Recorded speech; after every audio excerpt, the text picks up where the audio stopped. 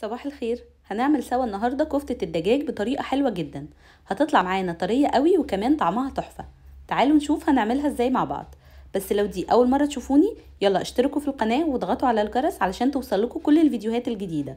ولو عجبكم الفيديو ما تنسوش تعملوا له لايك. يلا بينا نبدأ ونشوف هنعملها إزاي مع بعض. أول حاجة أنا بحمص شريحتين من التوست علشان بحب أضيفهم على خليط الكفتة. وده بيخليها طرية وفي نفس الوقت متماسكة. ممكن تضيفوا بدلهم معلقتين من البقسماط المطحون. هو أسرع لكن العيش المحمص بيدي نتيجة وطعم أحسن. وطبعا ممكن نستعمل العيش الفينو لو مش متوفر عندنا العيش التوست.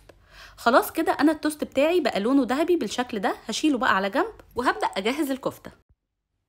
هقطع التوست اللي حمصناه تقطيع عشوائي وهحطه في الكبة. وهحط معاه ربع كوباية من اللبن الحليب. عندي هنا كمان نص كيلو من صدور الدجاج. غسلينها كويس ومنشفينها من أي مية زيادة ومقطعينها مكعبات.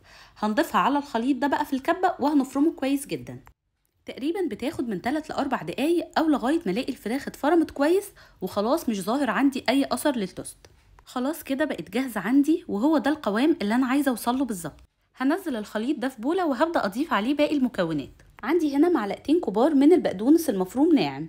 وهضيف كمان بصلة كبيرة مبشورة. وفصين توم مهروسين.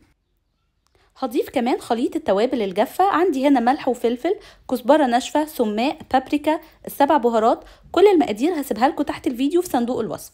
هقلب الخليط ده كويس لحد ما يمتزج تماما مع بعضه. أنا ما حبيتش أعمل الخطوة دي في الكبة لأن البصل والبقدونس لو اتفرموا في الكبة بينزلوا كمية سوائل كتير وده هيبوظ لي قوام الكفتة.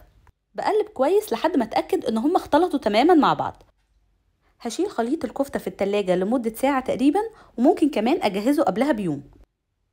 خلاص كده دي الكفتة بتاعتنا بعد ما سبناها في التلاجة. هنبدأ دلوقتي نشكلها مع بعض. ولازم قبل ما أشكل كفتة الدجاج أدهن إيدي بطبقة خفيفة من أي زيت نباتي وده هيساعدني إني أتحكم فيها كويس وما تلزقش في إيدي. باخد كمية مناسبة وببدأ أشكلها وممكن بعد ما أشكلها أشيلها في الفريزر وبطلعها على طول على التسوية بتبقى حلوة جدا. ودلوقتي هدخل فيها السيخ الخشب. أنا ما شكلتهاش عليه علشان كفتة الفراخ قوامها طري عن كفتة اللحمة. الطريقة دي بتخليها متماسكة أكتر وما تفكش مني وقت التسوية. وممكن كمان أسويها كده وأستغنى عن الأسياخ الخشب خالص. خلاص كده بقت بالشكل ده هشيلها في طبق على جنب وهخلص باقي الكمية. كمية الفراخ اللي استعملناها دي بتعمل لي 12 وحدة كفتة. هعملهم كلهم بنفس الطريقة وهرجع لكم. خلاص كده أنا خلصت كمية الكفتة كلها بسخن الشواية وبدهنها بطبقة خفيفة من الزيت. ولو مش متوفر عندي الشواية بعملها عادي على الطاسة على النار على درجة حرارة متوسطة. هبدأ دلوقتي أحط عليها الكفتة ولازم أتأكد إن الطاسة أو الجريل اللي بحط عليهم الكفتة سخنين جدا علشان لو مش سخنة الكفتة هتلزق فيها ومش هعرف أقلبها. هي بتستوي على طول ما بتاخدش وقت خالص تقريبا 3 دقايق على كل وجه وببدأ إني أقلبها بالشكل ده. بعد ما قلبتها على الأربع جوانب خلاص هي كده تقريبا استوت ما أخدتش عشر دقايق على النار هشيلها على جنب وهبدأ أحط الكمية التانية. وبرضو هسويهم بنفس الطريقة. وده بقى شكلهم بعد ما خلصوا.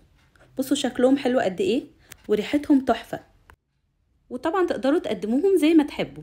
أنا كمان حابة أقدم معاهم سلطة زبادي بالسماق.